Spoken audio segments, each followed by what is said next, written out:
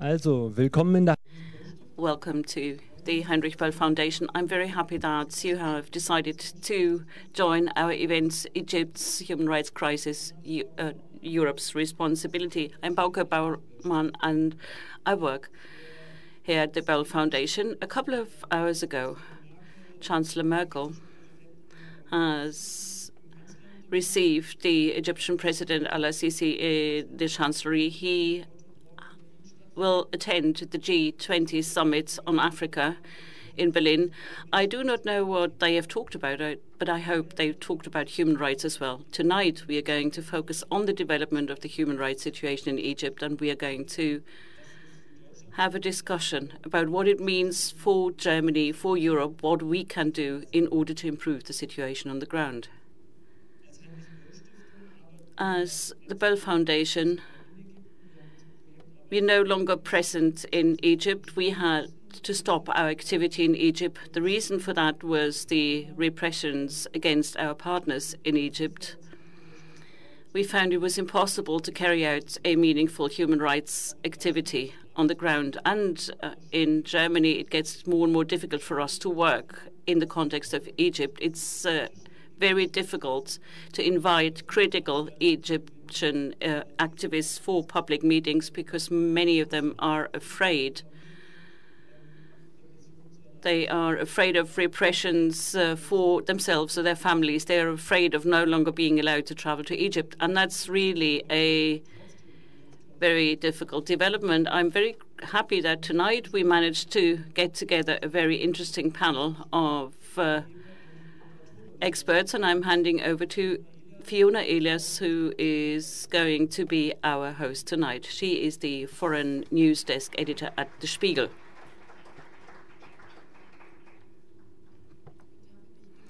I also would like to thank you for coming here. I'm very happy to uh, give a few introductory words.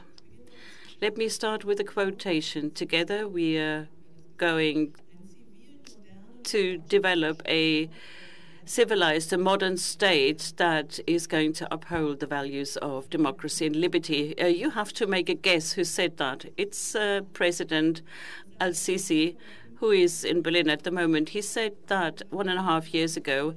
That was a speech he made on TV on the occasion of the anniversary of uh, the revolution. We know he never kept his promise. Tonight we are going to discuss what happened to Egypt and what the situation is at the moment ever since Al Sisi came to power. Was it indeed a second revolution uh, or was it a coup d'etat? So we are going to speak about how come that Egypt is currently undergoing the most severe human rights crisis. The uh, reason why we have this event tonight is uh, that Al Sisi is attending the Africa conference of the G20. Probably they're not going to criticize him much. We have a normalization of official relations. Uh, the much disputed NGO law has been signed, and it will be more and more difficult for human rights activists uh, to work in Egypt. We can criticize, and of course, we are going to do that tonight. And we are going to have a discussion tonight with two Egyptians who live in exile. And we also have invited two experts from Germany. So we'd like to look at the current situation as far as human rights are concerned. Tonight, we have no direct voices from the country, as we said, and we have no single woman. I'm just the host, so I don't count as a woman tonight and I am not an expert in Egypt, so we have four experts here, but all of them are men. We want to invite a lady as well, but she had to cancel her participation. She said she's afraid, and she fears that her family will be in danger. A couple of words about the current political realities for all of you who are not uh, well versed in Egyptian affairs. It is a country that is being governed by a former uh, military man and minister of defense, and uh, he has adopted so-called security laws that limits the freedom of assembly and opinion, always in the name of uh, combat against terror. Organizations such as the Muslim Brotherhood is prohibited, uh, dissidents are in prison. We can talk about numbers later. The power of the Arab, Arab Springs has uh, worn off. Only 2% instead of uh, attended the uh, election. Officially, they said it was 27%. The people are, as people say, either indifferent or paranoid. And the symbol of Al Sisi's uh, style of leadership is not just the handshake with Merkel. He is much more focused, for instance, on uh, Trump's uh, sable dance uh, during the uh, summit, and he would like to build a kind of uh, desert city like we have it in Dubai. We are looking forward to have the discussion with Mohamed Soltan. You are 29 years old, is that right? He grew up in Ohio, was arrested in the of his father, who is a famous Muslim brother. For 21 months, he was in an Egyptian prison and went into a hun hunger strike. And that hunger strike maybe was his uh, rescue, and he was able to go to the United States. Uh, Mohamed Soltan, uh, although he was ill, managed to come here. It is wonderful. Ahmed, Dr. Ahmed Said is 33 years old. He's a physician. He has no famous father, but he has a sister who is sitting in the first row. She just arrived from Washington. And uh, Dr. Said's wife is here as well. You prepared for a wedding in Cairo and you were arrested uh, for having participated in an unauthorized demonstration for 18 months. You were in prison. That is one example for the repressions of the justice system in Egypt. To my left, we have Wolfgang Büttner. He works for Human Rights Watch in Berlin. They published a report on the human rights situation in the prisons. And we'd like to talk about that report, and also we'd like to talk about uh, the exchange of opinion with the federal government. Then we also have Stephan Roll. He comes from the German Institute of Foreign International Relations, and he is going to speak about why the signing of the security agreement was uh, the wrong decision and what will that mean for political relations between Germany and Egypt. And I'm going to start with Mohamed Soltan. I'm a journalist myself, and that is why I can say he traveled from far away in order to tell us an interesting and moving city. Ever since your childhood, you've been living in Ohio, and now you're living there again. And because your father wasn't there, you were arrested. How come you were arrested? What was the story behind that?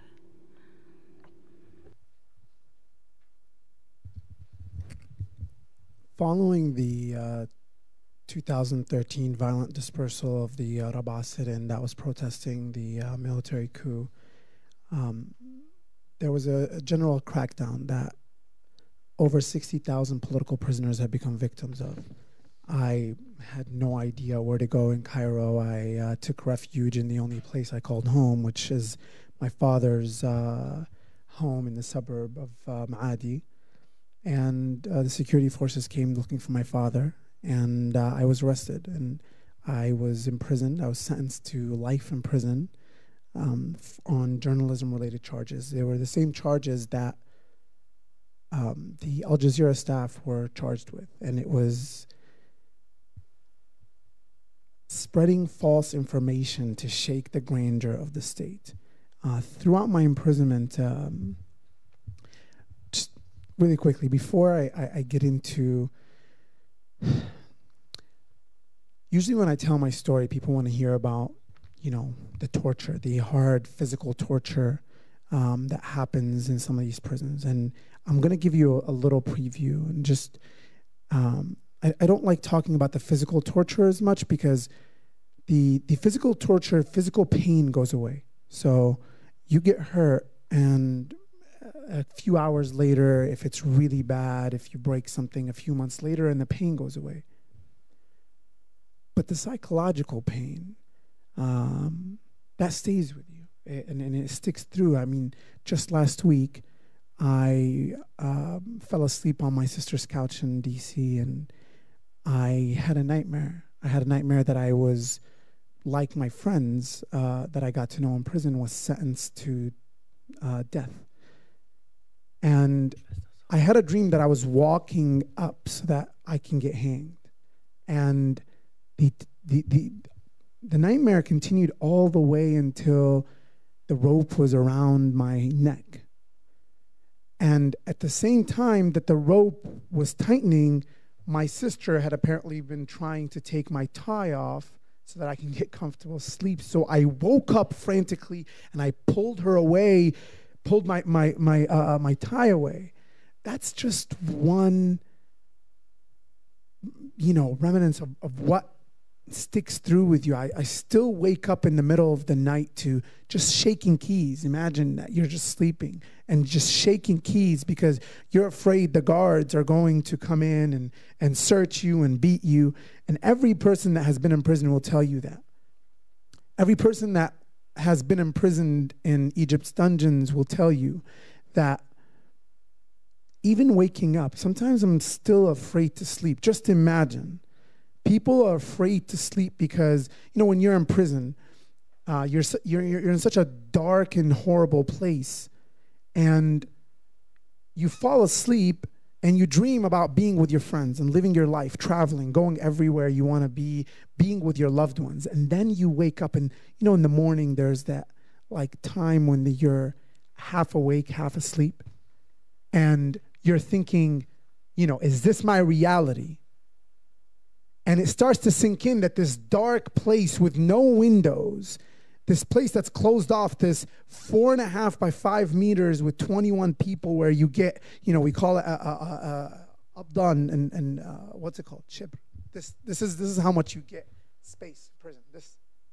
So you have to literally sleep on your side. And that becomes your reality. So when you wake up to that every single morning after you leave, and I'm sure Dr. Ahmed will tell you here that sometimes you're afraid to sleep so that you're afraid that you this is just all a dream. That you'll wake up being in that same dungeon that you were. And that's just and, and you know, I'll get into I don't want to take up uh, a lot of the time, but that's not talking about the beatings. That's not talking about the, the, the, the, the cigarette scars that I still have on the back of my neck. That's not talking about the impromptu surgery that I was forced to have because with no anesthesia and no sterilization, because I needed to get metal plates that were in my arm due to surgery out of my arm before I bleed to death. Eine ganz kleine Unterbrechung. Was bedeutet es, wenn Sie in der Einzelzelle dann Rasierklingen und What does it mean if you're in single confinement, solitary confinement and they put razor blades into your cell? What does that mean? Why did they do that? Of my imprisonment after there was a wave of hunger strikes. The Egyptian authorities decided that they need to completely isolate me. Um, they put me in a, de- they designated an entire building for me, and they started a systematic psychological torture. And this is what I'm talking about. This is what uh, uh, it's the residue from those last six months where um, there was an incitement to commit suicide. There was a um, constant, uh, you know, again, inciting, telling me, hey, just end this, make this easy for you and us.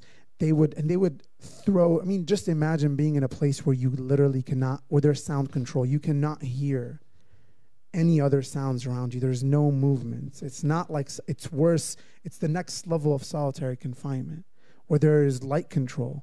There's flashing lights for 36 hours where you fall into a, a, uh, a when you go into a seizure where you fall into a coma um, where they they let the guards slide me- uh, uh, blades from under the door, and then they tell you, hey, you need to cut vertically and not horizontally so you can make this faster.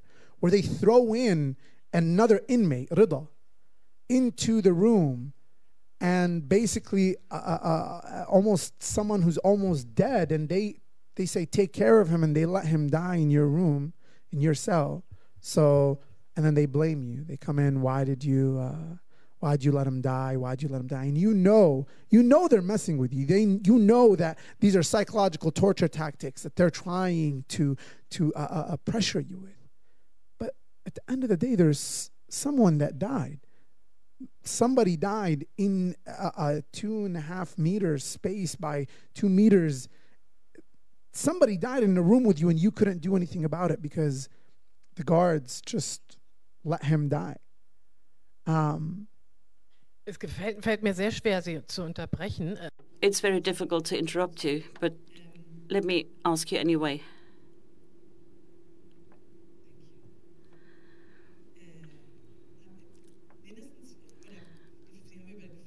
you talked about uh, the dangers for life and limb, but you have also said that it is also dangerous.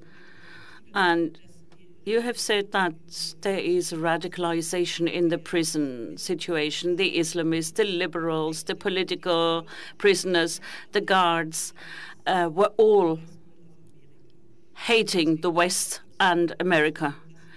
So, what was the most absurd situation that uh, you were confronted with? What were the most absurd statements made by people around you? March 16th, 2015. My father, who's a deputy minister of uh, Islamic Endowment, one of my friends, Omar Malik, and 11 other, 12 other people on journalism related charges got sentenced to death. The, the, the human part where no kid should ever see his father in a state of weakness where he is unjustly sentenced to death. Nobody should ever have to go through that. No, nobody should ever have to go through seeing his friend again on trumped up charges, getting sentenced to death, and have him scream your name from across the cage. Nobody should ever have to go through that But that wasn't the most absurd part of the night.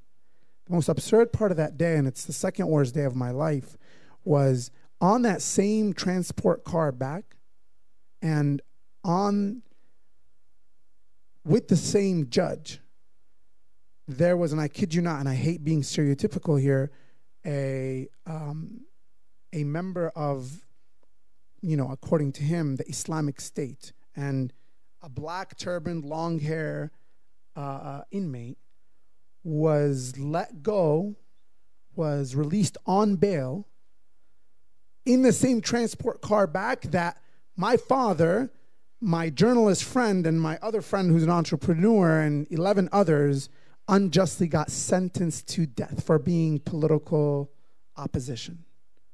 That was honestly, I have never been as confused in my life as that moment. To me, when this man walked up to the judge and corrected the judge when he told him, So you pledged allegiance to Daesh, and he said, No, to the Islamic State. That man got let go that day. And we had to still, until today, families of 14 other people had to deal with the pain that comes with a death sentence. That's, that's not okay. And today, I mean, and, and uh, Dr. Ahmed will talk about this more, you know, just a few days ago, six teenagers got from military court got sentenced to death and their families right before this right before coming into this this this hall their families calling and texting and saying what can we do? Anything. That's not okay. Because it's easy to sit here and talk about numbers people. Like it, it's very easy to sit here and say there's 40 50 60,000 political prisoners that are in there. It's easy to say there's this many death sentences, this many life sentences, and this many years that are, are that, that people have been sentenced to. But every single one of those numbers has a story behind it. Every single one is a brother, a, a, a father, a son, a, a relative, a friend of somebody. And it's not just, it doesn't just affect that person, but it affects everybody around them. So yes, that's that's the most absurd uh, moment in in in, uh, in my time in prison, but that's not you know, um, it's it's a simple it's a simple statement. It's a simple statement when you have an influx of news for the pro democracy camp, uh, whether it's from the Islamists to the, the, uh, the secular uh, activists. Everybody across the spectrum, that democracy, the believers in democracy, they have an influx of news of superpowers, right? The United States of America, Germany, uh, you know, the, the world is accepting this and, and, and giving this man, as we speak now, giving him an international platform. Mm-hmm. This man that's oppressing thousands and thousands of people. And, you know, there's this acceptance of him, there's this coddling of him.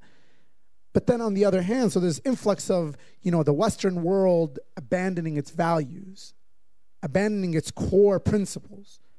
And then you have the other camp, the, you know, whether it's Al Qaeda or the Islamic State, they have an influx of news to what they perceive as positive news, right? As, you know, there's expansions here, there's the Italian consulate in the heart of Cairo is being bombed, there is the church in Tanta, there is Alexandria Church, there is there is tons and tons of expansions in what they call.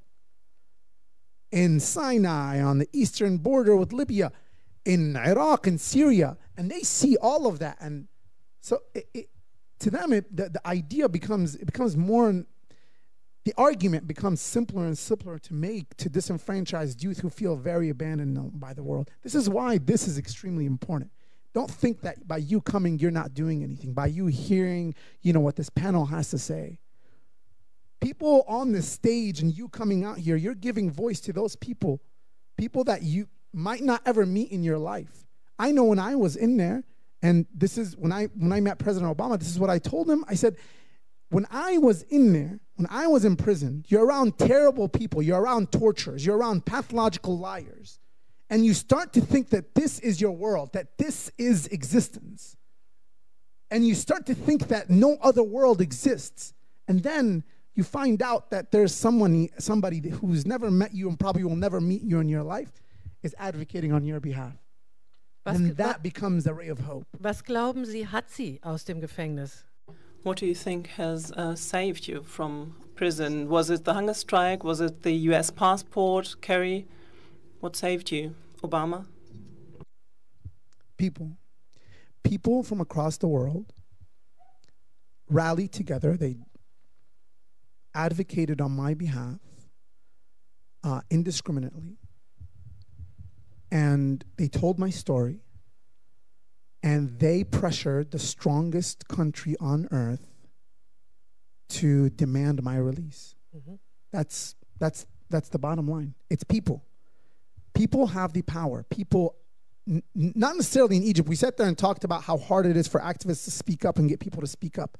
But people outside we now in this room have the power. I am literally living proof that every single one of you has the power to make a change in someone's life, to save someone's life. My life was saved because of people.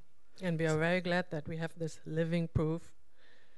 Sehr lebendig uh, und uh, um, we're happy that you are here sitting with us as living proof. Uh, I would like to ask Ahmed Said very briefly whether you fully agree um, was it the people or was it reports about your story, not within you, uh, Egypt, but for example in Germany, that uh, saved you from a longer uh, prison time? We're lucky, me and uh, Muhammad. We had the luck that some people know us and talked about us. But the small thousands in prison still have nobody to talk about them. Nobody know about them. More than 60,000, as Muhammad yeah. said. And uh, before I, I went to prison, I was like, for me, it was here in Germany. It was like I feel all the time guilty because I'm living here safe, and thousands of people are like forced to face all this kind of insanity. And after I am, after I was in prison, and went out now, I feel more guilty because I had the luck. I had the people who has who have the contacts to the media, to the politicals. So they talked about me, and I spent just one year, and I supposed to to spend two years in prison. and uh, I now I'm I'm really not sure about my feelings because I I I'm so happy to see Muhammad right now here, and really I I'm, I'm really so happy. But at the same time, after hearing this again and again and again, I am not sure of my feelings. I I don't I don't know how I feel right now, because like I used always when I, I got asked uh, about my case and about my story and about my experience, I always said like it is not the right time for me now to talk about it. It's not the right time. I didn't work on it. I didn't work on this experience, and it's very hard for me because every time I need to talk about my story, I need also to remember, remember. all the people's stories that I met inside. It's really unbelievable. Like Muhammad uh, speak about the six young guys who have uh, got sentenced to death in Egypt, like before two weeks or something like this. And these guys, I, I, I saw, I saw them in prison. They were in the same prison where I am. It was like the Scorpion prison, one of the worst prisons, the worst prison in Egypt, actually after Al Azuli. And this guy was kidnapped. Were kidnapped. These guys, and it's been two months in uh, the Geheimdienst, the uh, Secret Service. Secret Service, two months in prison, torture, 24 hours a day. Uh, they told me the stories how they how they, how they got tortured. Also, uh, uh, everybody knows how they tortured the people, but to hear this, and uh, then they transport to our prison, to the to prison where I was, and I heard their screams every night every night, and it was like a torture. It was a, another type of torture. To hear the screams of the people who they got tortured and could do nothing. And after I, I went out of the prison, I knew that the, the people got sentenced to, to, to death. And I knew that these people are innocent. These people did nothing. These people were kidnapped before, before even the, like, it's, it's like in the case of the general attorney, it was a uh,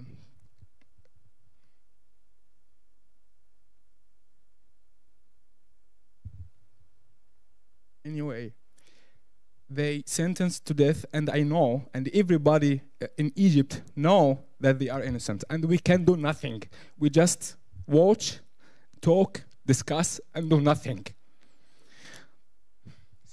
kein problem herr, herr büttner kommt ihnen das bekannt Mr. Büttner, does it sound familiar? Does it remind you of the experience that you gathered in your 25 years Scorpion uh, prison? Is it worse than before the revolution? Is it worse today?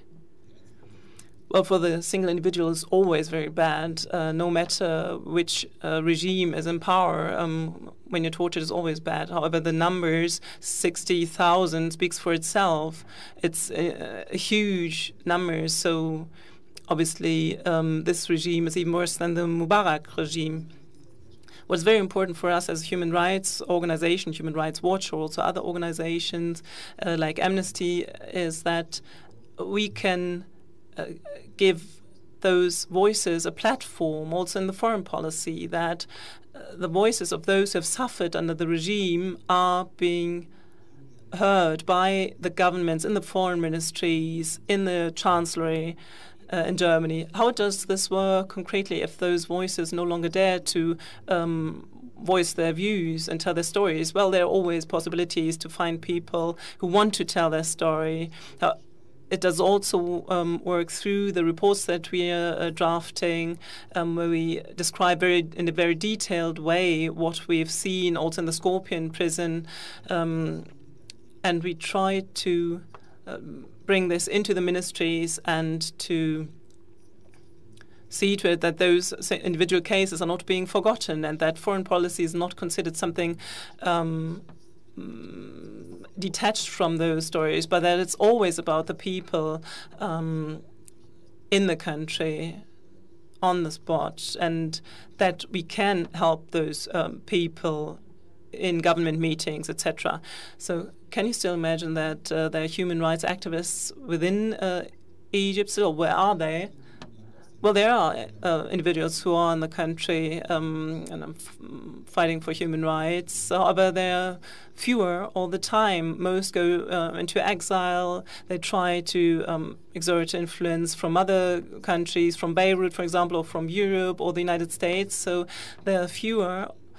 Um, and you also mentioned the NGO law. So, what are the challenges, uh, the concrete challenges in the daily work of those activists that you uh, that you know of? Well, what the non-governmental organizations are being faced with if this new law is being implemented is that all activities by NGOs or civil rights organizations are being monitored by a control body which is comprised of Secret Service members, the Foreign and the Interior Ministry. So there will no longer be any independent activities. They might be shut down if they um, violate vaguely formulated objectives um, as regards foreign policy or domestic policy, and so their work is completely restricted. And we hope and we mentioned this time and again that Merck, uh, today also the foreign ministry, uh, in their meetings with Sisi, will put this on the agenda, will talk about this. At the same time, of course, we know that the priorities are a little bit different. Uh, investments, of course, have a priority uh, today and tomorrow. However, we want to put this high on the agenda. Um, and all, in particular those uh, who have suffered from the regime. This is our main task, and we will put it on the agenda time and again. How about working from exile? What is the worst enemy if you do not suffer from those uh, laws anymore? Question um, directed at you both. What's the biggest uh, foe? Maybe the disinterest. Um, there are too many problems around the world. So is this the case? Disinterest is this worst enemy of yours? Uh, the first problem is that um, um, I think it's uh, maybe Desinteresse, wie, wie Sie gesagt haben. But uh, I think it's not the, the, the major problem. I uh, I think the major problem that we are living here in a democratic country, but for example, we had uh, this agreement between Germany and uh, and e Egypt about the security uh, cooperation. Im April unterzeichnet. Yeah, and which was signed in April. Uh, I made a campaign against this agreement. We talked to the parties, but uh, like the like the government, the German government had like a very very strange argument, like why you are cooperating with a dictatorship in Egypt. Why? Wir haben hier, wir, wir hätten ja gerne auch jemand von der deutschen Regierung hier, die wir dazu. We would have liked to have a government representative from the German government here today, however they could not come.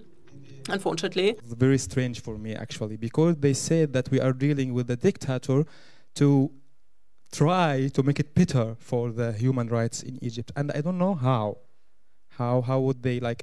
What are the tools that they have to to make it better with dealing with the dictator? Like they supporting him in all ways, and they telling us that they are uh, trying to uh, like make it better for the human rights uh, situation in Egypt. Was würden Sie denn erwarten? Was wäre konkret? Also, was müsste passieren?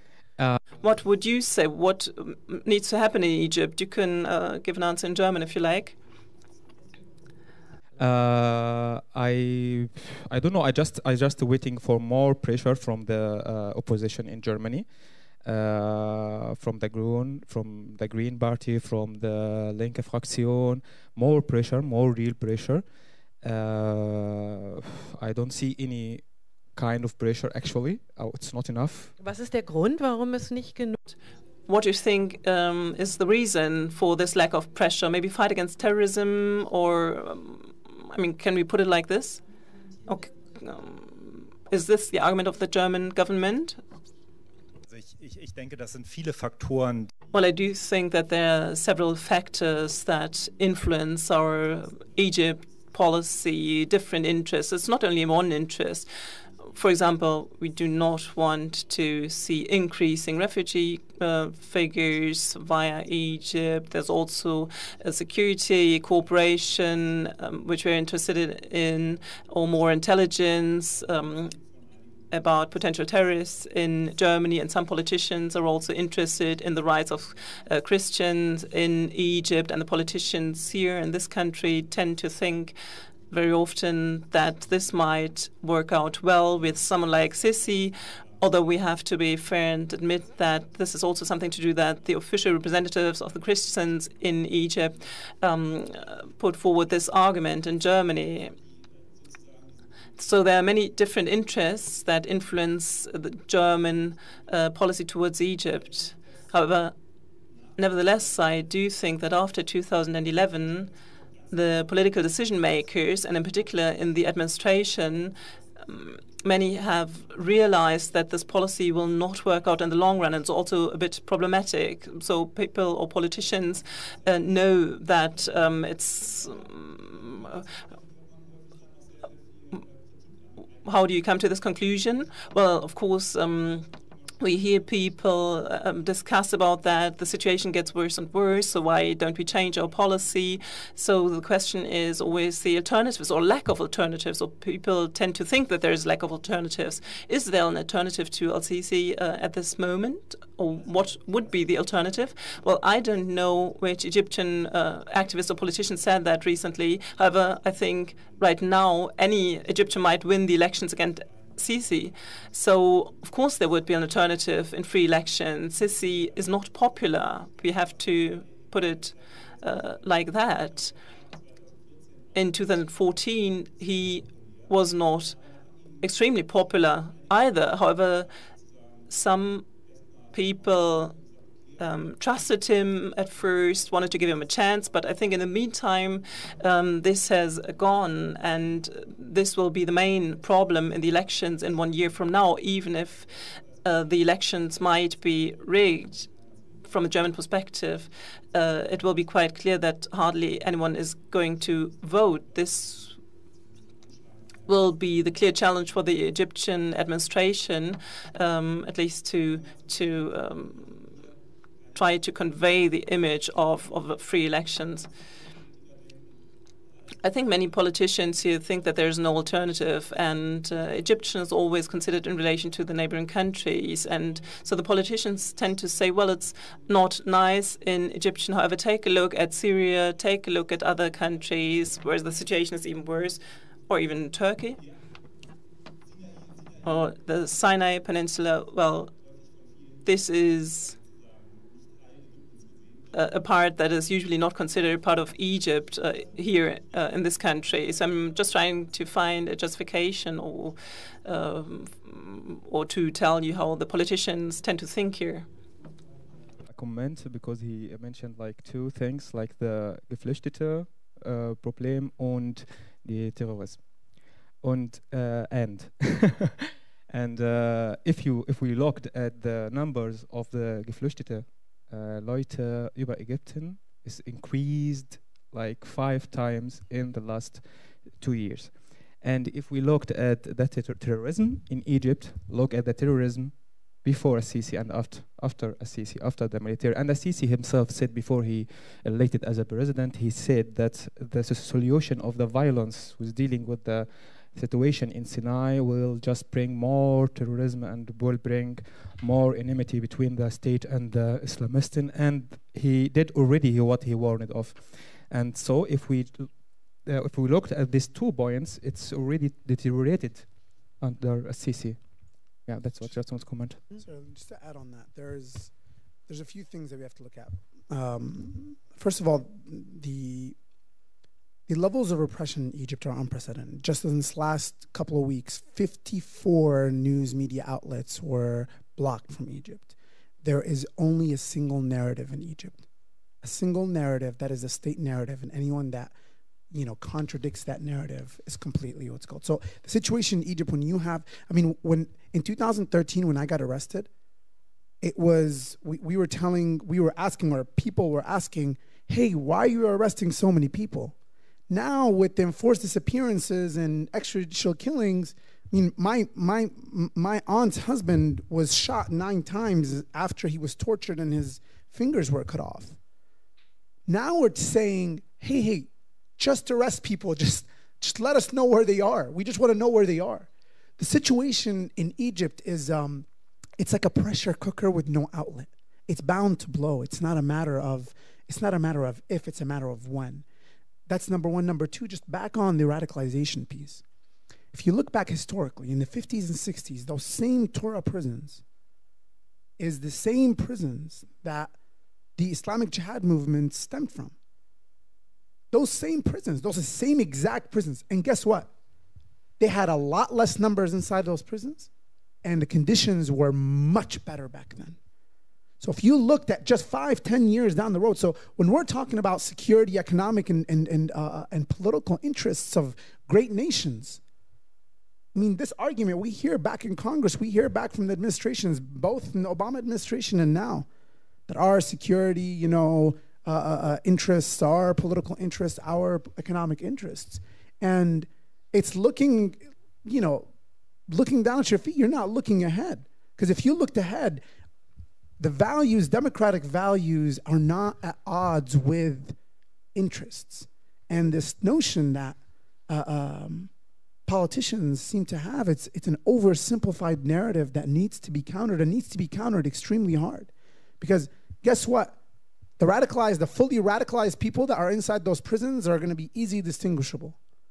But it's the half radicalized, the people that still feel abandoned by the rest of the world, and then they'll eventually get out but they'll still back in their in the back of their heads they'll still have undealt with issues. They'll still have in the way they integrate and assimilate back into societies back into normal life. Th- that's extremely important to look at. And if we're looking at the future of, of, uh, uh of, of egypt or of the middle east it's after 2011 there's no there's no really turning back. I mean you literally you have people here and in other countries who against all odds. You know when i did a hearing in congress in 2015 my father was disappeared from prison, beaten, and his tooth, teeth were broken.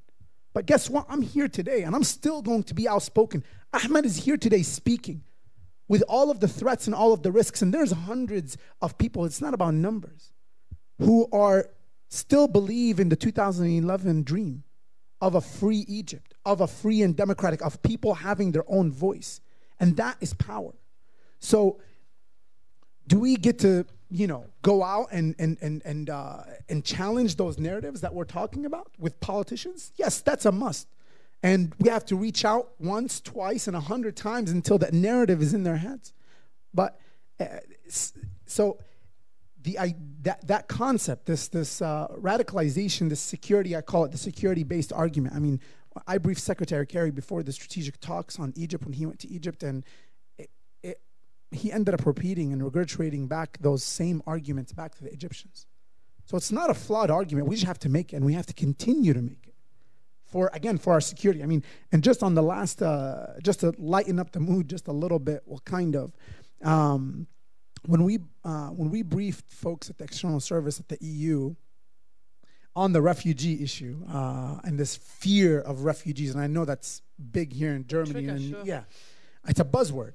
And the Egyptians understand this. So um, I was told by uh, uh, like a cabinet member uh, that I was briefing at the External Service that when the Egypt got the U- UN Security Council seat, so uh, somebody threw a party for the foreign ministers and uh, and the ambassadors, and the German foreign minister um, spoke up about you know publicly in this private meeting about human rights.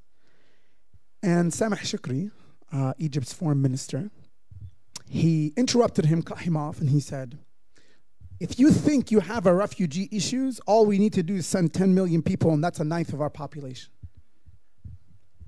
This is called bully diplomacy, understanding people's fears and playing on that. But, you know, and my sister always makes this example. She's a clinical uh, therapist, and uh, she always makes this, this, uh, uh this you know, argument that listen, it's like a teenage kid, right? Like he can't live without like he can't live without the West. I mean, he gets all of his legitimacy, he gets all of his funding, he gets he's gonna complain and whine and I don't want to do this and blah blah blah. But at the end of the day, like you can't give him everything he asks for, right? Like at the end of the day, there's got to be some discipline. And it's really, really important that we make this point to politicians. Being public, the Egyptians hate it, but being public is extremely important. If for anything, it slows down that process of radicalization that people inside of prison know that there are people out there still speaking about them that they are not forgotten. That's extremely important. If if just for that. Ich könnte mir trotzdem vorstellen, dass äh, Well, I could imagine anyway that um, there has to be something inside society in Egypt. Society in Egypt should give a signal to what do you hear about the people that still live in in uh, in Egypt? What do people think about the split in society uh, between the secular and the Islamist sections of the population? Is there a sign of hope that people will reconcile, or is there a disappointment, a rec- resignation? And what about the spirit of the street, the revolution? Can it come back in the country, inside the country? The people, Frage ist einfach, die Antwort no. Well, the question is simple. The answer probably is difficult. uh, they are full of anger. They are full of desperation. They, uh, I think that like they will move, like in the couple years, coming couple of years maybe. But I, the, I, I feel this when I was in, in Egypt before I came back to Germany. They are so angry. They are uh, disappointed because of the economic state. They, uh, they like now they are. Uh, not not before like I was in Egypt before in uh, 2014 but the people was like okay we know how we have no choice other than a Sisi so he is better as a Muslim brother uh, so we are hoping that he will make everything better but now they say he is fa- he's, he failed. He can't do anything. He is not any ho- a hope anymore. Um, Dasselbe, was man auch über Morsi gesagt. They said the same about Morsi. to add something about the radical radicalization of the people because how the uh, police deal with the people in prison. There's a completely difference between how they deal with us uh, the secular activists and Mhm. with the islamists. Uh, the islamists from es uh, Where's the difference? uh, the difference is that they, they give them what all what they need. They give to him all the rights. They uh, put him in the better places as as uh, as us because I think they had like uh, some like fear or something of this uh, radical people. And I, I saw many of the young people who th- they were not Islamists at all. They have nothing to do with politics at all and they radicalize in in the prison. And the problem is that the management, the managers know that already. Like there was some, a guy from IS in a cell, and the people were going to him to to learn and to uh, to listen to him, and like they was giving lessons to the people, and they they have all the freedom to do what all they want. Why is it?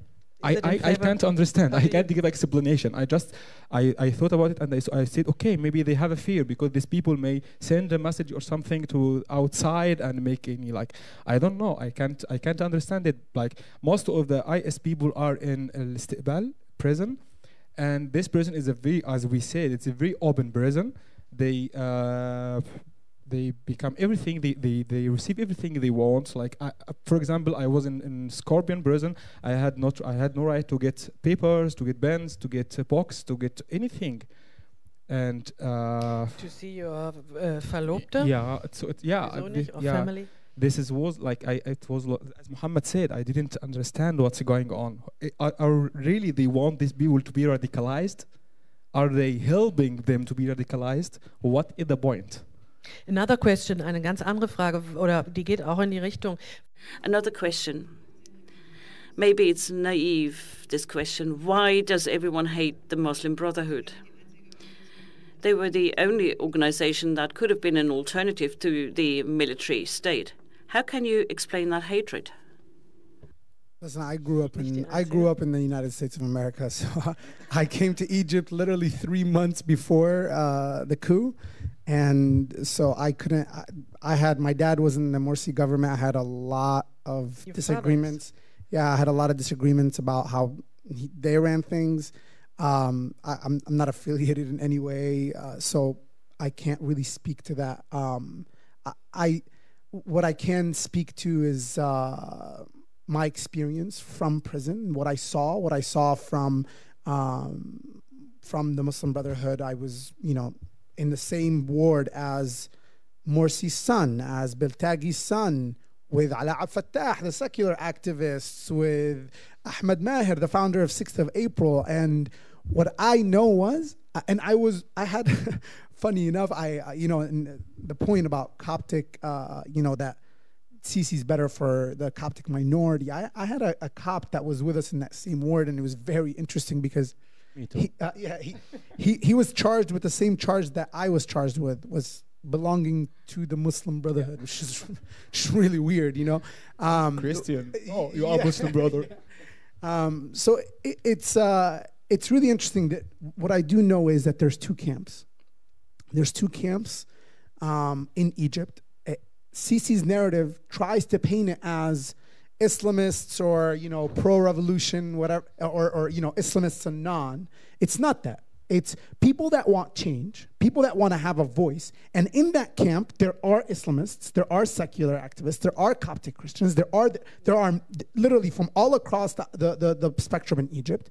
And then you have a anti-revolution, people that just want the same old status quo. They want and that also they have Islamists. The Salaf, the entire Salafi camp. Who can understand that? Wer soll denn da noch durchstarten? Well, who can still understand such a situation? Uh, apparently not, uh, not you know the German uh, administration or the American administration. Hopefully they uh, get a grasp on that soon. Hopefully. Was hat die Bundesregierung what has federal, the Federal Republic of Germany uh, done concretely, except for economic cooperation? What else did they do to support? Well,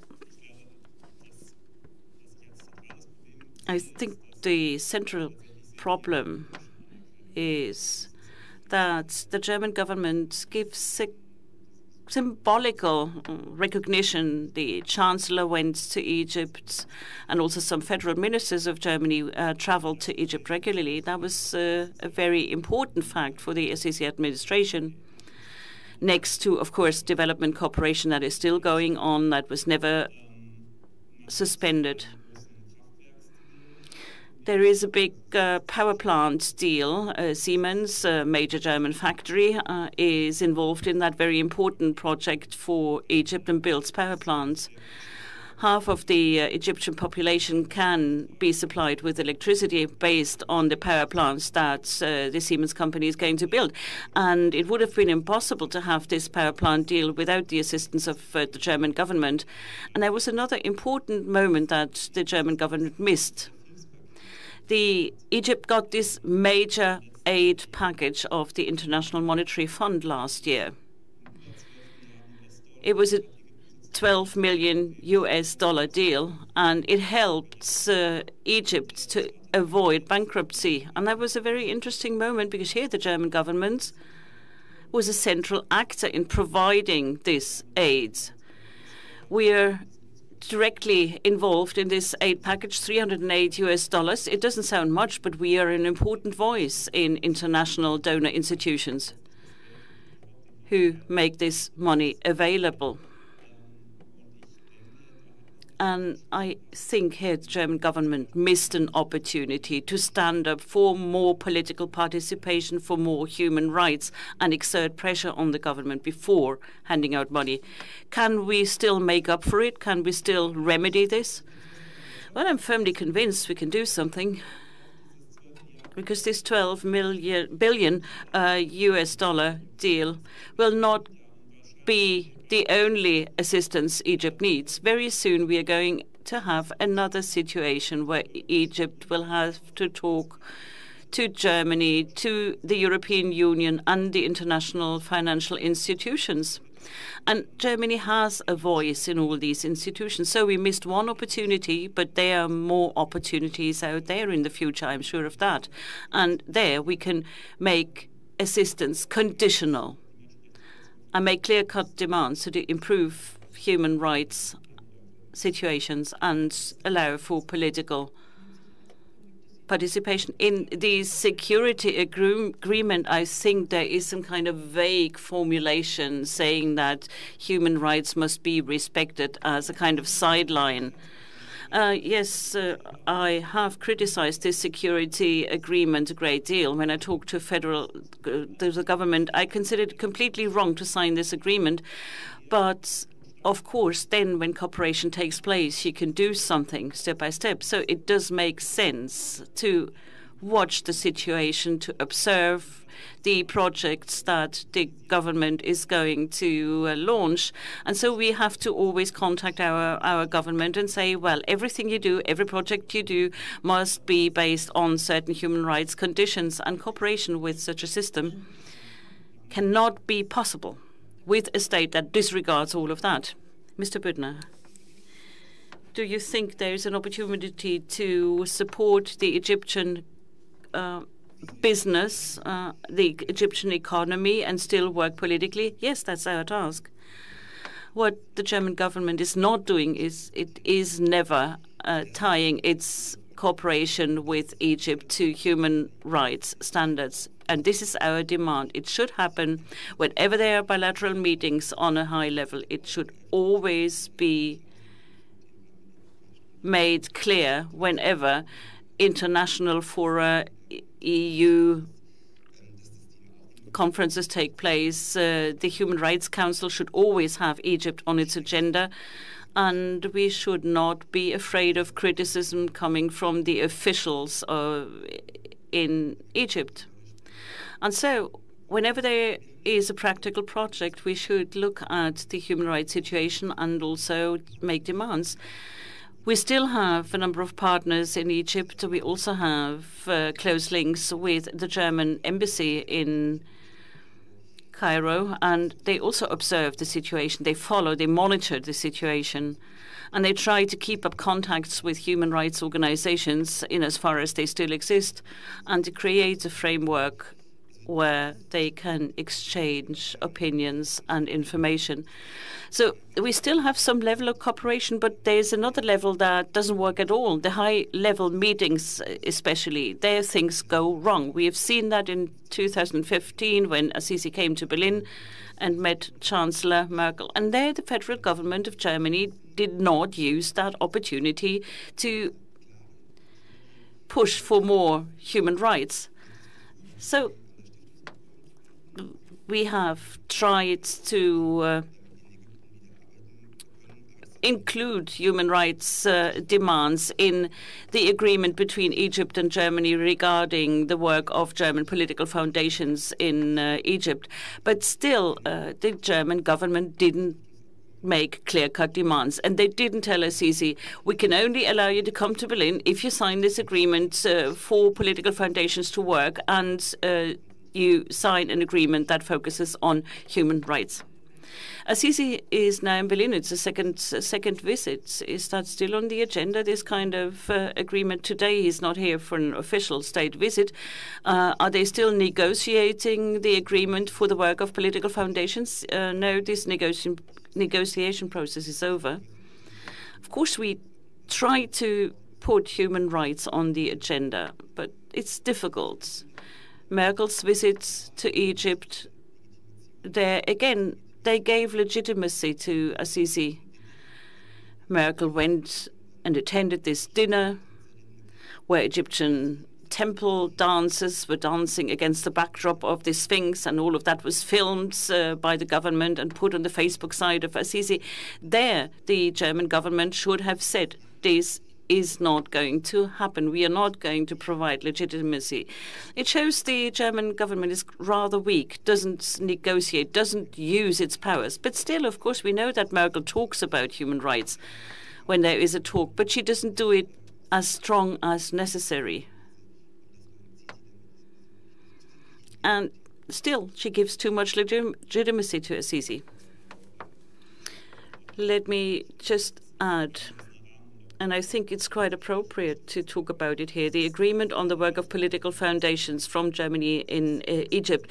It is very easy to criticize uh, the German government. We know that things go wrong at the moment, and I also think that the policy of our government is. Uh, too feeble, too weak. They don't use their powers. They don't negotiate. Uh, they accept rhetorics But as far as this agreement on the work of political foundation is concerned, it is a an agreement where the political foundations could have done more. They could have said, no, we're not going to come if you do not fulfill certain demands. All political foundations, political foundations in Germany, should have made a clear cut statement. And if some of the foundations wanted to have disagreements, uh, other foundations should have said, no, we are not going to participate. We are not going to go there because it's an agreement that just accepts the authoritarian state that we have an authoritarian state that has a repressive NGO legislation. So, to put it in a nutshell, uh, Germany is just interested in combating terror and uh, making sure no more refugees come. Yes, that seems to be a priority. But again, it, this agreement for the political foundations is very interesting. Because political foundations, what are they? They are actors, they're civil society actors, and I was quite disappointed that they didn't stand up, that they didn't protest. Let me also add of course, the federal government is the main political actor, that's for sure. We've got the uh, Ministry of Foreign Affairs, the Chancellery, Minister of the Interior, and it's very difficult to talk about the security agreements with Egypt. They're quite reluctant to talk about that, and uh, they, of course, they do not want to talk about how they are going to cooperate with security forces uh, that torture their own people. These are uh, difficult issues that our Ministry uh, of Interior has to come to terms with. Uh, we are talking to the government. We have said we reject the security agreement and we still try to influence the ministries, especially the Ministry of uh, the Interior. But next to the uh, federal government of Germany, we have other political actors like the foundations. Some of them are still present in Egypt. We also have members of parliament in Germany and they could also be active, uh, but they do not focus on human rights criteria at the moment. And we also have private companies that could do more. Uh, of course, they are not legally requ required to do so, but according to their own uh, codes of ethics, they would have to uh, focus also on human rights standards. Uh, and so legal certainty and what it means for their employees is something that sh they should have a close look at. Thank you for these very critical and open and intimate insights. I am not going to summarize this discussion, but what I would like to do now is uh, finish our talk right here on stage and open uh, for our audience but before we give our audience the opportunity to talk, uh, would you like here to give us your assessment about uh, the, the, the near future? Uh, if we met here again two years from now, who will be in power in Egypt? What will the German position be? What the situation will be in prisons in two years to come? If I may, I'd like to uh, criticize this picture over there. This is not Egypt. This is the, the, the image that Germans have when they think of Egypt. What, what kind of picture should we have? You should show people with demonstration posters in their hands. Well, no, no, uh, it was just, just a criticism. I would have liked to see people. Uh, in the present. Nee, future. The future. Yeah. I, if you had a crystal ball, what would you say would the situation be like in two years from now? Trying to fight, we will keep. Uh, Ganz persönlich. Mine. No, Ja. es ist für, You personally, für mich ist for me, personal uh, life. Till now, I can't live my personal life. I'm still linked to the people in Egypt, still linked to the people in the prison, because the, la- the last night for me in the prison, the people in my cell was uh, they were trying to make party for me because I'm going out, but uh, they told me that please don't forget us, please keep fighting for us, and they told me that, and I will never forget this. So for me now there is no space for my personal life. I know this make my wife angry, but it's uh, very very hard to concentrate on my personal life while 60,000 people in prison and uh, hundreds of uh, medical negligence uh, uh, cases, hundreds of tortures cases, forced disappearances. Really, it's a nightmare, and uh, I'm forced to live this till now. To me, the, the future seems um, bleak. Um, just being honest. But there's hope. Um, again, if if I two years ago, if I or you know four years ago, if I told this room that you know in such a hostile, toxic political environment in Egypt that the son of a Muslim Brotherhood leader um, would be imprisoned and freed, but not just freed, the president of the United States of America would personally intervene on his behalf, that the United States Congress would stipulate $1.3 billion of, uh, uh, uh, of aid, of military aid, on the release of. Uh, this every single person in this room would be, you know, in complete disbelief. But guess what? I'm sitting here with you today. Um, my hope stems from you, uh, from people that are interested in, uh, in these issues, that continue to work with resilience, with persistence.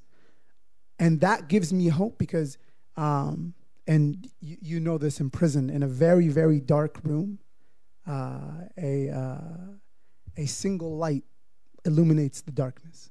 Uh, a, a, single, uh, what's it called? A single light illuminates the entire darkness. So that, uh, the way we, the way we quantify good and evil is not uh, it's it's good is always so much heavier uh, than evil. So in five, ten years, uh, will you know people believers in democracy and freedom prevail?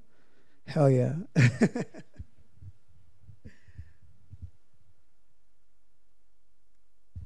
Bekomme ich auch noch einen kleinen politischen Ausblick?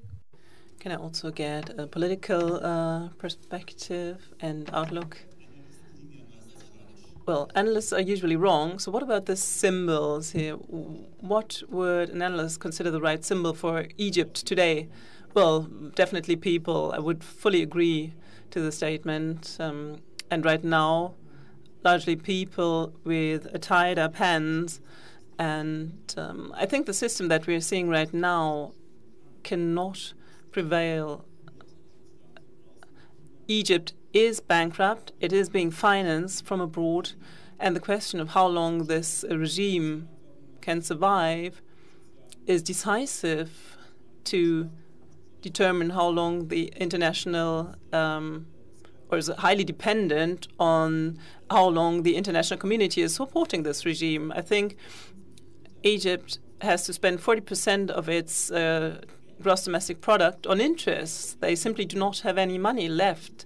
And by providing uh, new funds, new credits, or also from the Gulf states, also for political region, uh, reasons, uh, such an authoritarian regime can be sustained for, for years. So um, I, I, think I'm not really in a position to uh, to take a look at the future and to say how uh, the Egypt might develop or whether the system will prevail in the longer run, not in the long run, but in the longer run. However, it's not sustainable in itself, I would say.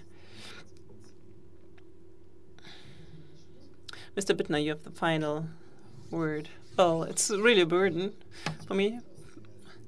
Uh, but I think it's quite a sober one with us. Um, I think it's about um, limiting uh, the the damage. It's about the human rights activists and those people who are in prison that they're not being forgotten uh, in the implementation of the NGO law. It's also about possibilities, a certain leeway, um, and of course, international pressure can achieve that. And it's also about the implementation of international agreements.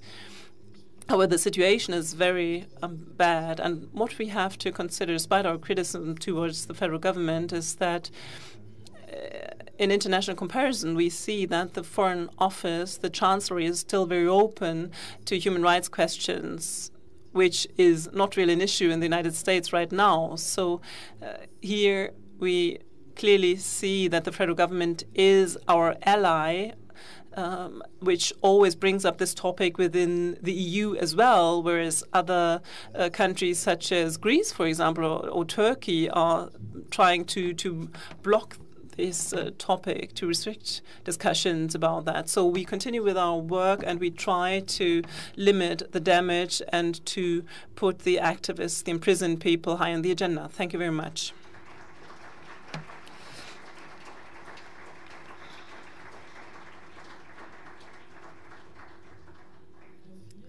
thank you very much to the four of you. And what we can rarely see on the telly uh, and in Egypt as well. So, are there any questions? You can raise them in any language. the young man in the front. Uh, wait a second, there will be a microphone soon.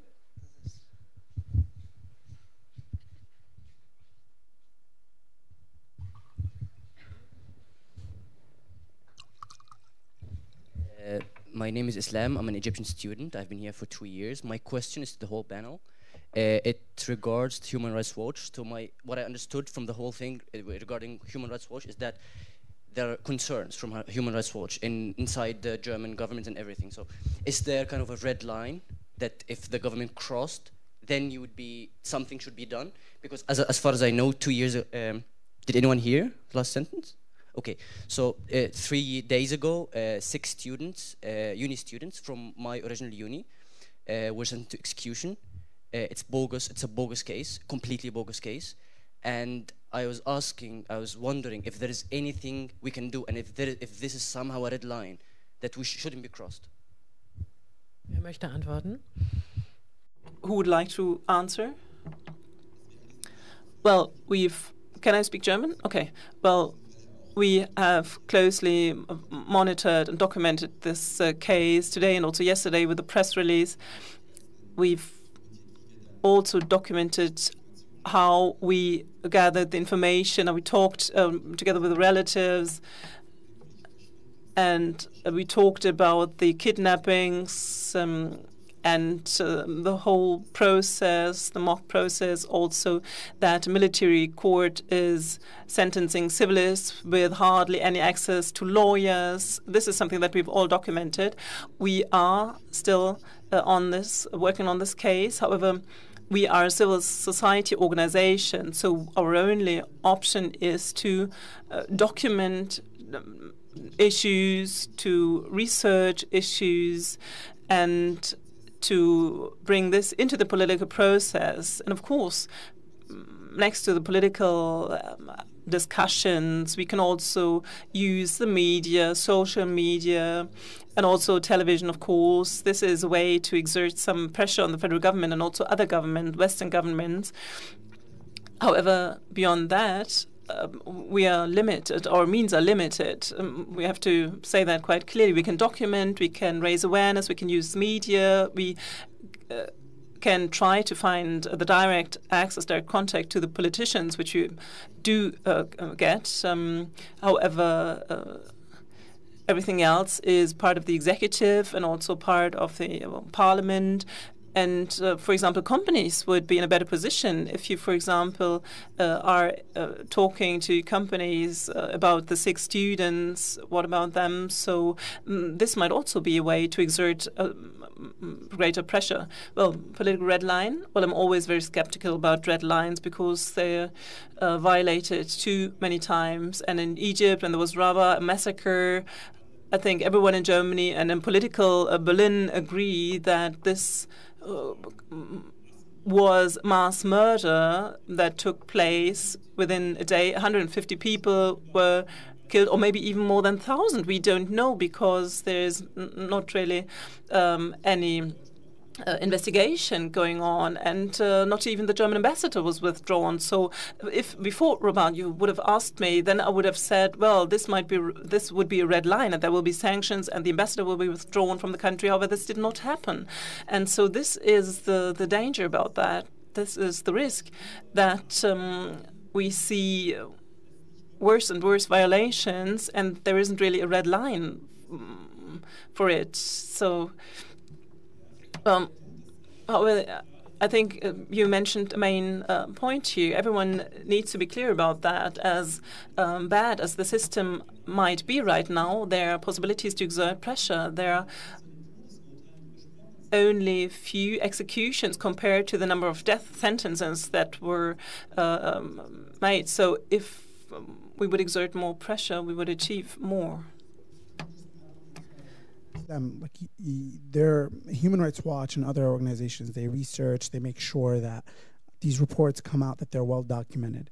Um, honestly, it's on every single one of us um, to go out and use this, you know, verified, well documented information to figure out where the soft powers, where can we exert pressure, wh- whether it's within the civil society space, whether it's within government, whether it's within the parliament whether it's in the judiciary, honestly, for I mean, I'm I'm I was shot in Rabaa uh, in my arm. Until today, what 2013 until now, almost four years later, there has not been a single legal case outside of Egypt for any human rights violators. The, the, the legal arm has not been activated in any country. Country, Germany, the US, France, the UK, has been used sometimes to threaten, we're going to sue. But actual legal, you know, uh, uh, uh, uh, really well, you know, put together legal cases have not been used. That can then empower civil society. That can then empower, then you can go to a Human Rights Watch or a think tank or and say, hey, can you help us, you know, get you know, get this legal case going? Can you help us? So then you pressure because sometimes, because government is not all the same, and this is what I've uh, I've seen in briefings. Some within government there are splits, there are different power struggles, or there are different views on certain issues. So sometimes you have to find where your allies are, so that then and then give them the tools so that internally they are able to then make a better case for their point of view that aligns itself with you. So we each have to be a little bit more politically savvy. Uh,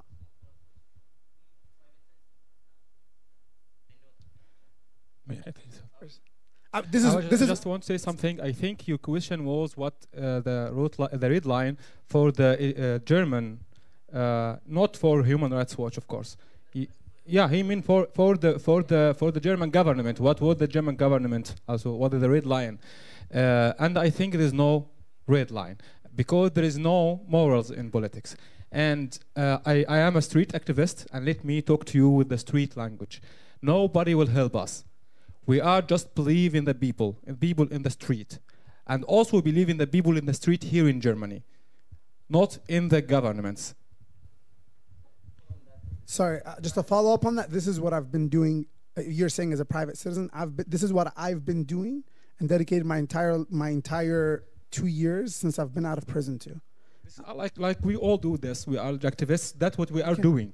And please encourage him. He is allowed to do that yeah, too. Of course. of course, you're, you're, allowed. You're not in Egypt. You are man. welcome. You're not in Egypt. but what what would what what would we get from doing that? This is the question. Dame in der zweiten Reihe, bitte. Lady in the second row, please.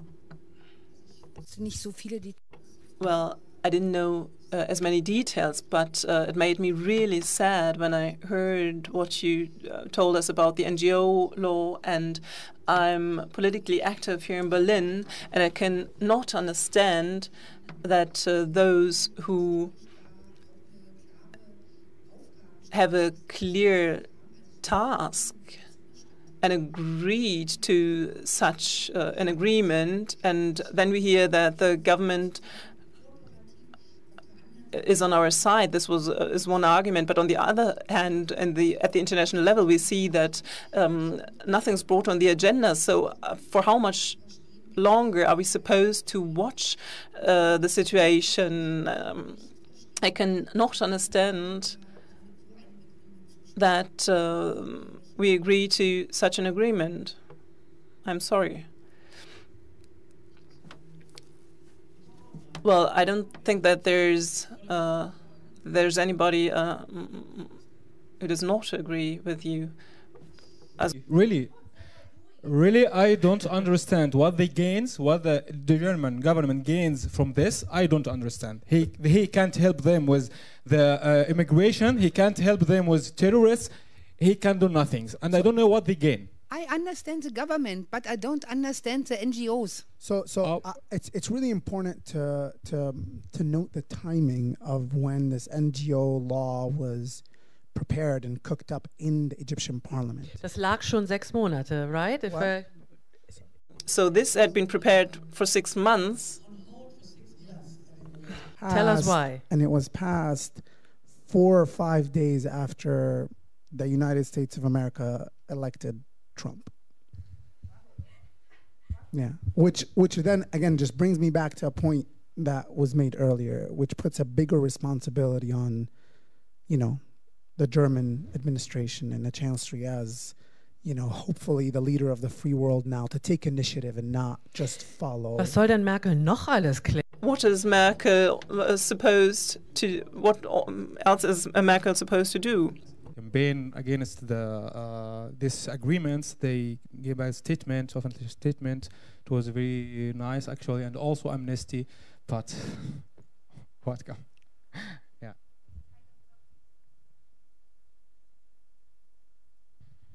Ja, Kann es sein, dass Sie zuerst sich schon ganz lange melden? In der Did you want to make a contribution for quite some time now? In the first row here? Okay. Islam. Hi, here. Um, I'm like in uh, kind of similar Here's position. David. I'm David. Yes. Um, in kind Who of is similar. David? Um, One sentence. Who I'm? I'm I'm a good mensch. I was uh, actually I was uh, I have a structure, political organization, what you want to call it, and we actually I think I I want to actually just um, say yes to what Ahmed said.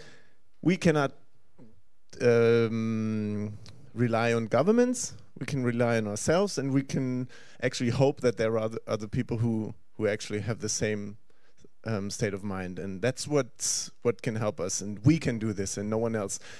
There's all this bullshit about human rights, etc. It's promotion. It's bullshit.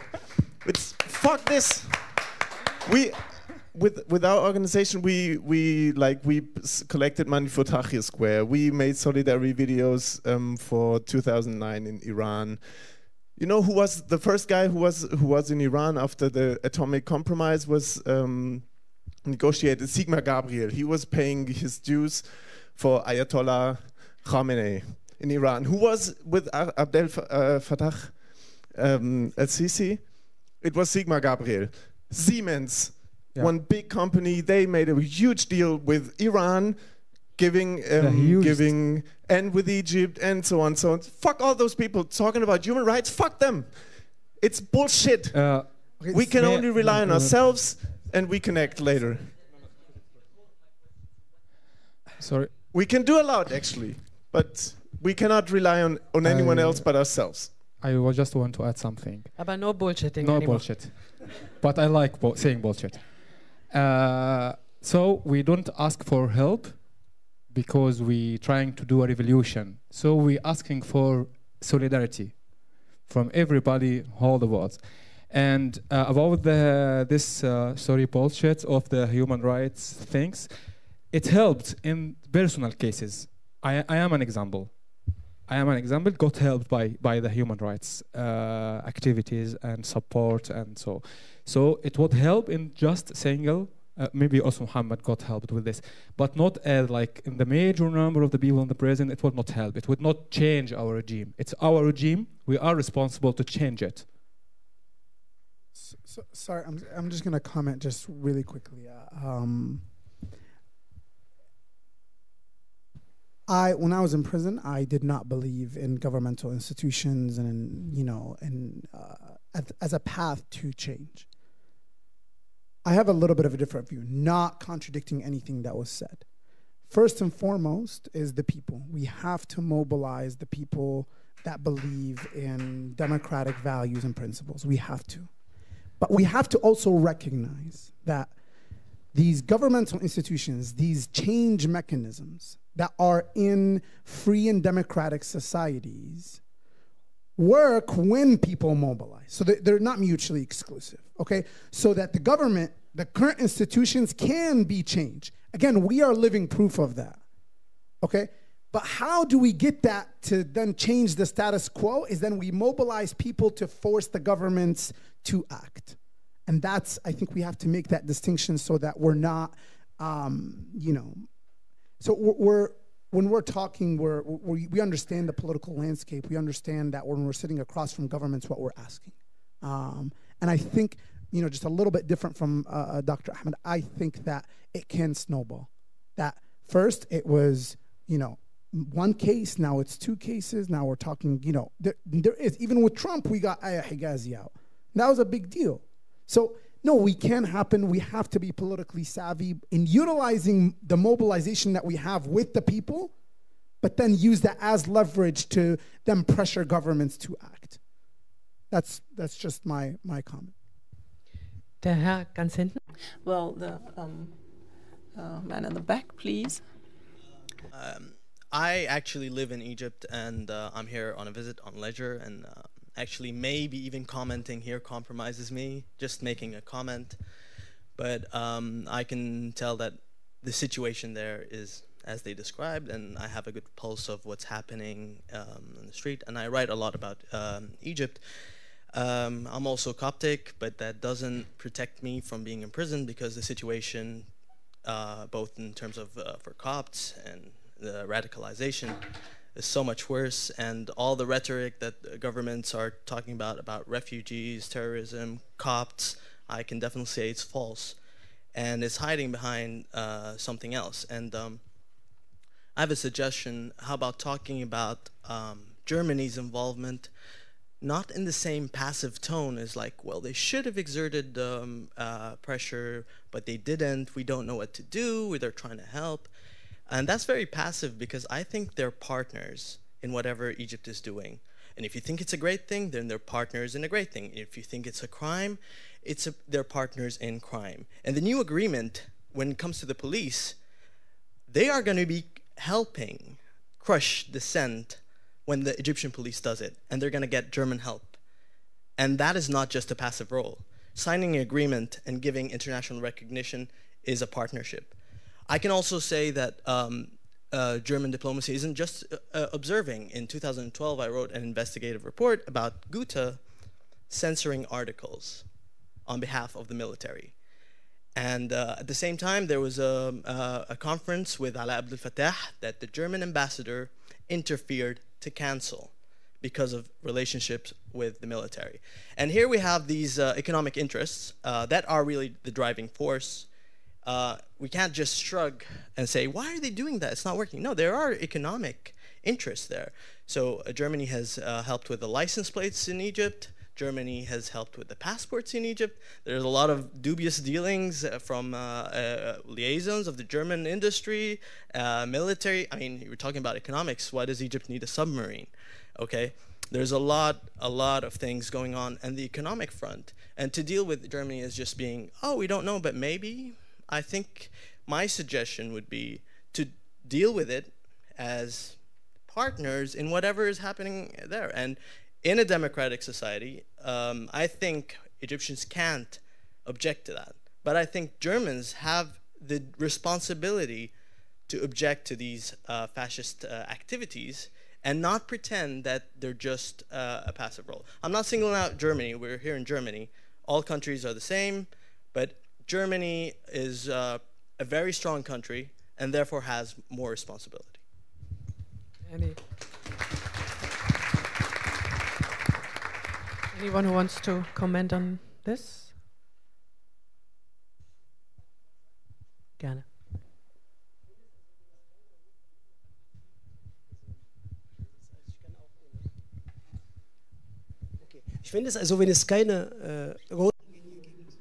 If there is no red line,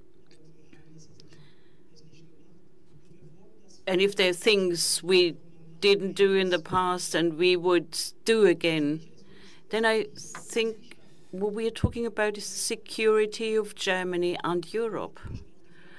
And we are talking also at the same time about economic uh, interests, but we are never talking about uh, human rights. We've been hearing it for years and years.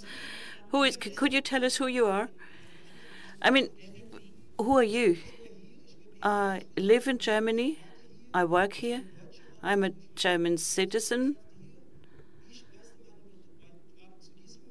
And I make a contribution to this country. I identify with this country, with Germany. But what I hear is a repetition of the same old things all the time. I get information saying, well, we have interests, we have interests.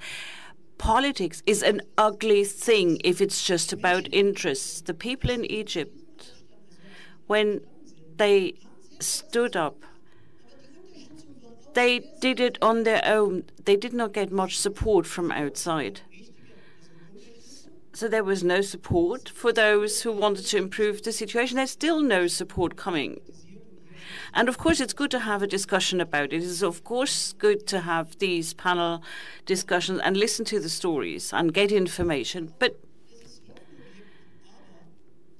you know, of course, I do believe that there is hope, but what could be the future in the next 30 years? I mean, there are some dictators who have been in power for 30 years with the support of the West and the United States. I'm not a fundamentalist, but I say, when do we finally stop just talking and start doing something? When do we finally make clear-cut demands and insist on their fulfillment. We always talk about cooperation and interests. Yes, we do know Germany has interests in uh, e Egypt and the Middle East. America has interests there. Europe has interests there. But human rights don't seem to have a proper role in politics. And there was never a focus on human rights in the meetings between uh, Merkel and Al-Sisi. They didn't insist on the human rights situation in order to improve uh, the improvement. I mean, we have no politicians here since you're making a demand towards uh, the politicians. Do you have a question? Uh, well, there are some people who have an influence on politics here, so. Uh, I didn't. What's your name? Ibrahim. Ibrahim, this is what we are. This is a problem. And this what we are trying to change. Vielleicht, vielleicht eine Bemerkung auch zu dem, was. Let me also make a remark.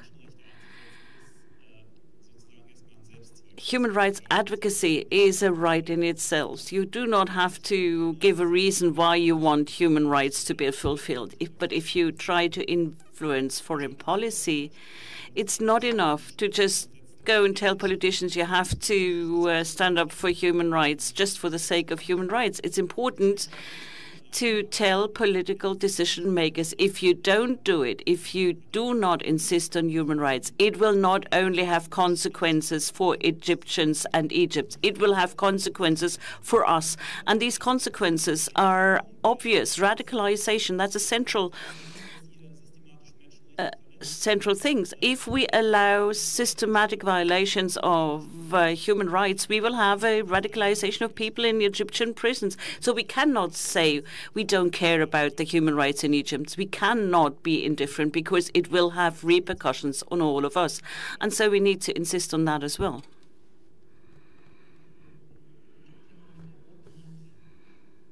The gentleman over there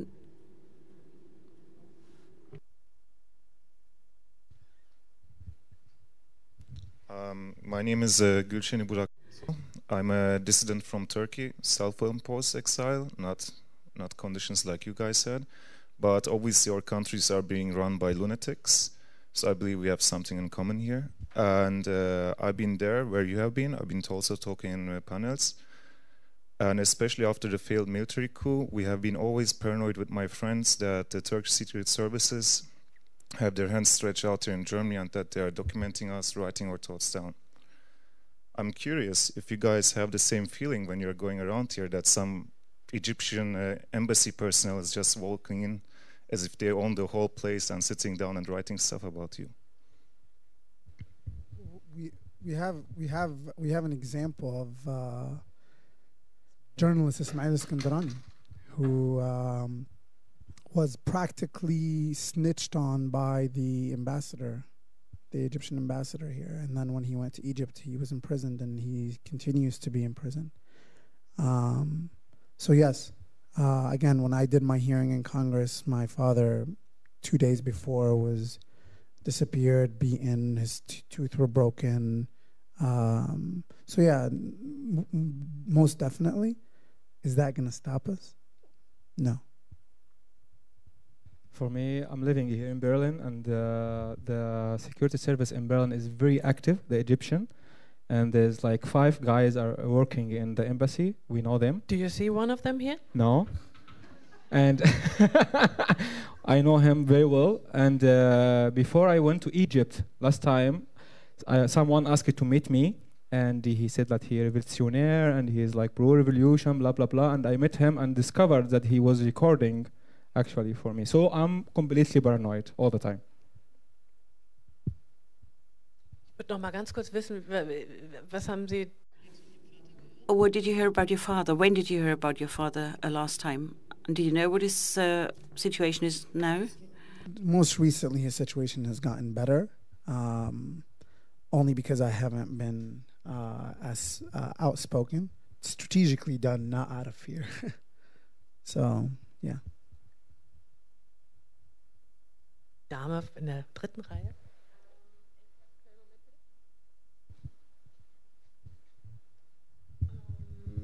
Ich wollte was fragen. I wanted to ask a question regarding radicalization in Egypt and the future of Egypt. I have a very good friend who lives in Berlin. He's also a refugee from Egypt and uh, he's hoping to get political asylum, but his case is very difficult. And he says that this situation that people radicalize because they lose faith in the West is very bad.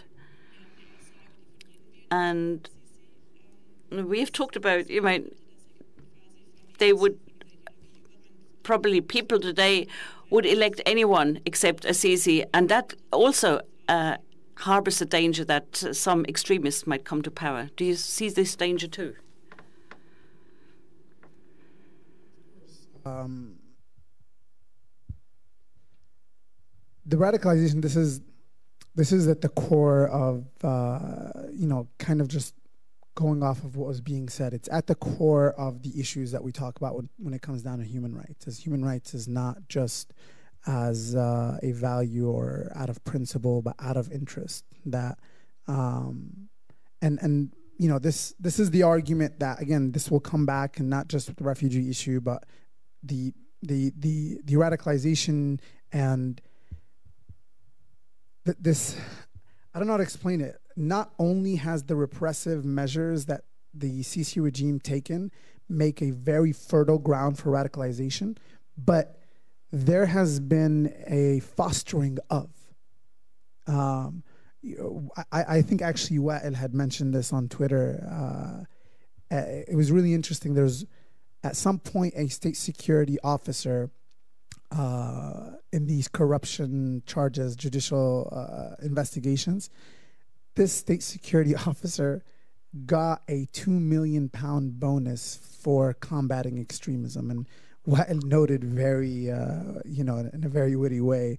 Why would someone continue? Why would one? Why would someone want extremism to end if they're getting a two million pound bonus, you know, every year? So it, it's really uh, you know to just to just think about that and to continue to to correct that narrative i think is extremely important and i think will help with the individual cases and then overall with time um, you know that that will contribute to some sort of change das, das Dramatische, um das vielleicht noch, das geht Um, I've got a different remark. You know, what I consider dramatic is the fact that more and more people radicalize.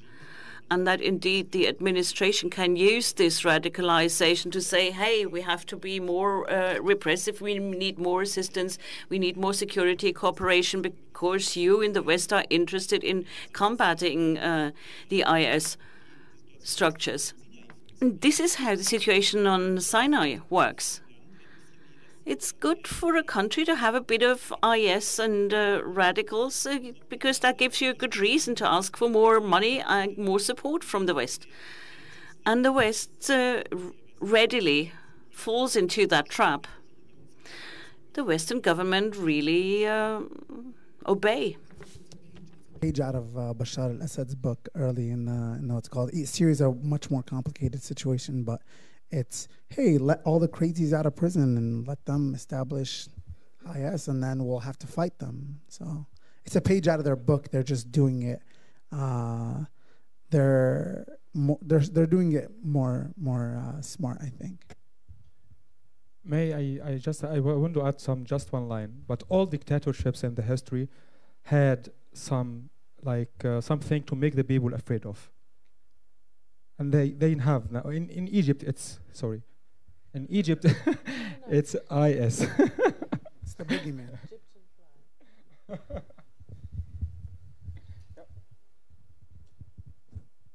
so who the next? Um, but you don't see it like a, as a yeah. real threat, ISIS, in like becoming big in Egypt. It most definitely is. Okay, a, that's what I mean. But the well, remedy, they are helping that. But but yeah, they're not. They're they're fostering it. They're they're helping it grow, and they are not the remedy to it. They're using it as a boogeyman, and all of the assistance that they're getting, they're reallocating those funds to cracking down on political dissent rather than effectively combating extremism. They're not. They're fostering it. They need it as a boogeyman to then further consolidate power. There's there's a very uh, uh, like I have an example of a story, very sto small, very short story.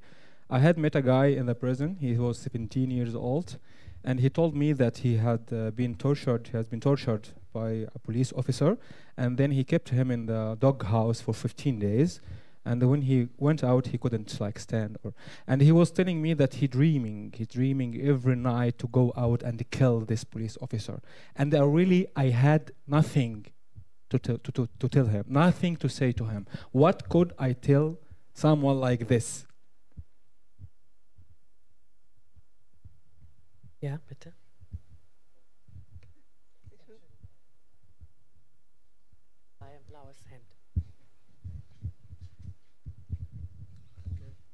Dann äh, die äh, Frage stellt sich hier.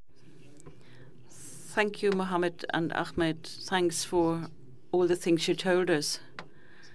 Le allow me to speak in English. The uh, Muhammad father was my uh, professor at the university. I support him in a way because um, I know he um, belongs to Muslim Brotherhood. I have a problem with Muslim Brotherhood, ideological and political, but I, I like him and support him because he is a great man. Really, he is a great man.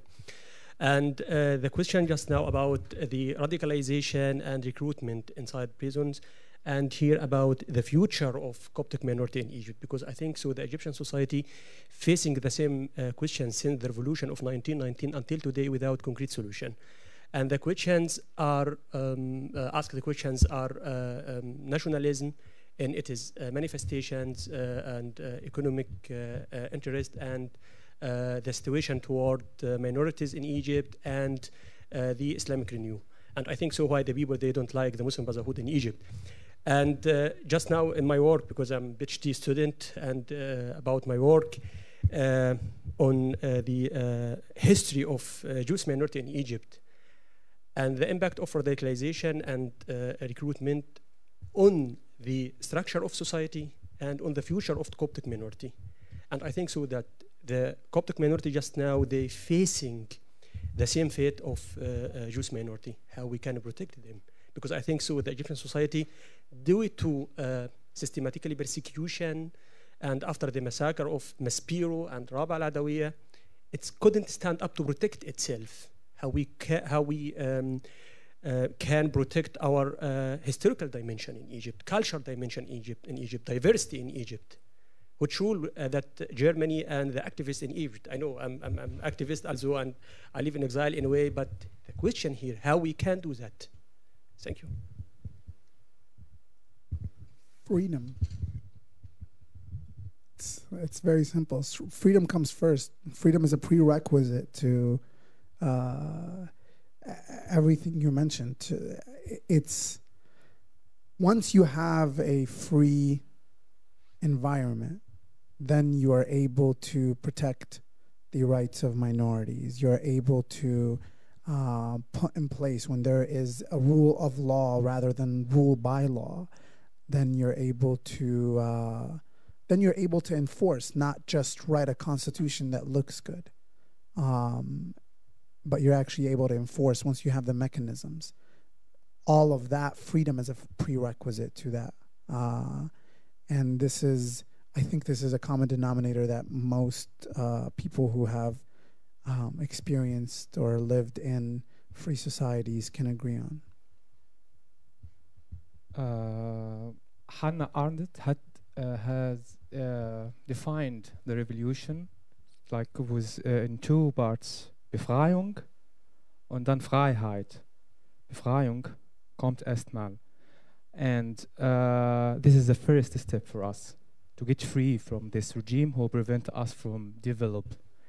And uh, I think the January uprising answered the question from the beginning. It's freedom, justice, and equality. Thank you.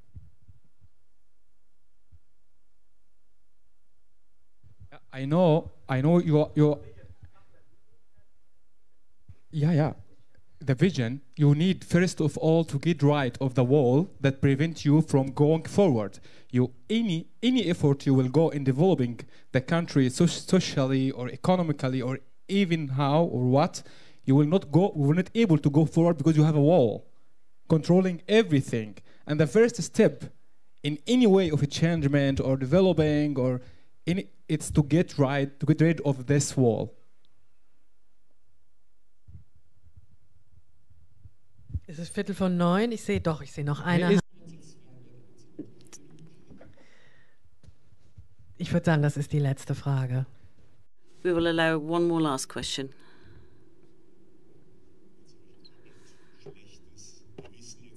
Now I have a very bad conscience for two reasons bad conscience because I will be the last question. Uh, you're not from Egypt? No, I am not. Uh, where are you from? Yes, I come from Austria. But my question comes from the perspective of uh, politology, what are the structural differences of uh, the current regime? If you had a revolution, if you won the revolution, what would you change? Of course, it's a it's a very comprehensive question, but it's worthwhile talking about that vision. What would you change? And what is the reason why Egypt is in such a bad situation today. It's, it's, it's such a wonderful country with so many opportunities. Why is uh, Egypt in such a bad shape at the moment? Well, it's uh, the overarching question for our whole discussion. I do not know whether we can come up with a short answer.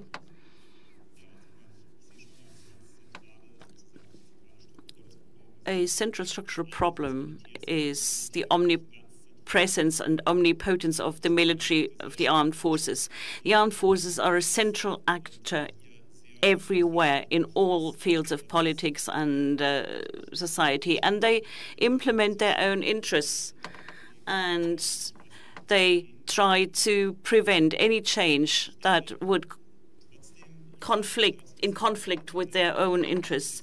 Mohammed has said we need to be very smart in the way we deal with this regime. On the one hand side, of course, there is the grassroots movement that we can support, that you have to stand up against the wall, as uh, Mohammed said.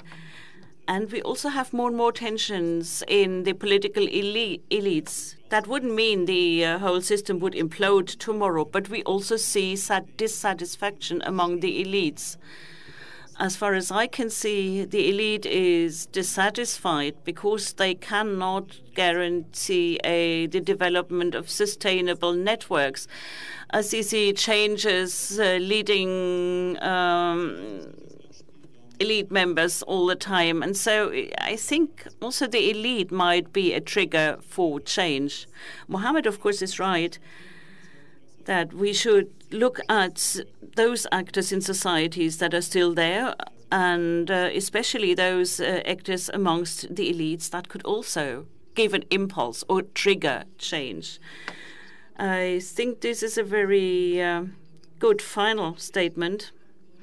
We have addressed many issues, and I'm quite happy about that. But of course, uh, it is never possible to answer all questions.